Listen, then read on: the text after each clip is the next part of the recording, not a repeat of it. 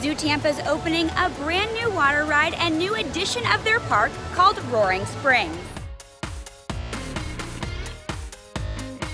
Zoo Tampa at Lowry Park is full of fun for the whole family, and now, just in time for summer, the park is opening a splash zone full of adventure. The Roaring Springs ride is thrilling. Once seated in the boat, you'll climb three stories upstream to make your way to the drop.